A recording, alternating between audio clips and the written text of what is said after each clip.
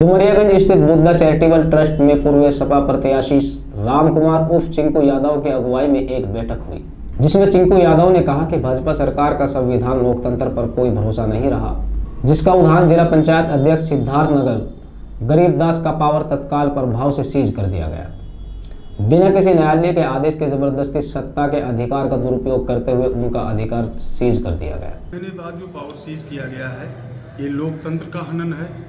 Bharatiya Janata party और Bharatiya Janata party की सरकार दलित विरोधी और पिछड़ा विरोधी है।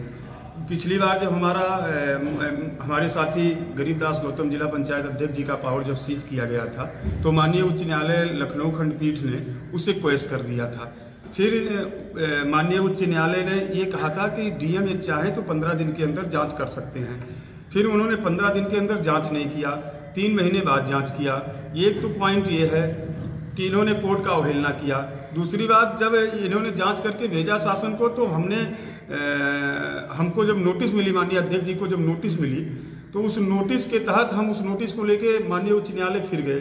फिर उसमें माननीय उच्च न्यायालय ने शासन से इंटेक्शन मांगा यानी जवाब मांगा।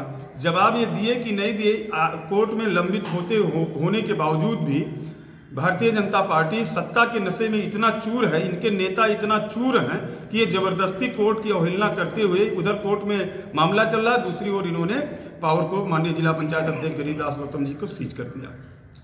अगर पावर फिर से नहीं बहाल होता तो क्या करेंगे? पावर फिर से बहाल होगा। हम कोर्ट फिर जाएँगे। कोर्ट में कंटम ऑफ़ कोर्ट करेंगे। और एक चीज़ और मैं बता देता हूँ इन्होंने फर्जी जाँच पे जिसपे जिला पंचायत द्वारा भुगतान नहीं हुआ, काम नहीं किया गया, जिसका टेंडर निरस्त हुआ है टेंडर हुआ था लेकिन टेंडर निरस्त हो गया, उस पर इन्होंने बत्तीस लाख रुपए का जाँच दिखा दिया।